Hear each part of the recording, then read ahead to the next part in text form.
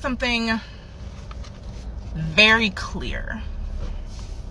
When I say universe, because I say universe a lot, I am not referring to anyone or anything outside of you.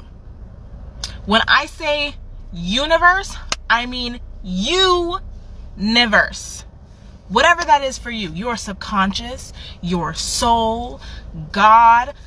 It's not some magical, mystical thing that's outside of you. And uh, sure, yeah, the universe, the planets, the stars, the galaxy, sure. But when I am referring to universe, when I say trust the universe, I mean you universe. I mean in in here. I mean your thoughts.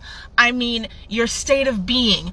That is the universe that I personally am referring to. When I talk about manifestation and, you know, getting into alignment with the version of you that has what you want, I'm not talking about that for the, the, the, the stars and the planets and the universe outside of you. I'm talking about you. You are the universe. You are God. You are your source because you were created by it. There is nothing outside of you. Even if you're religious, God is both within you and all around you. You are not separate. You are not separate from the universe. You are the universe. So,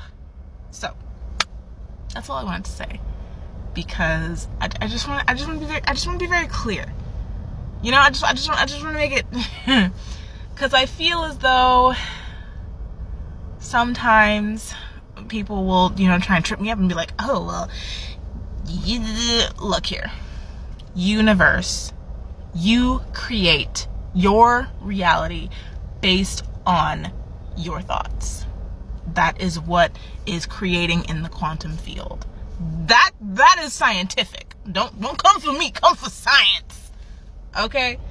But um I just wanted to just wanted to be very clear about that.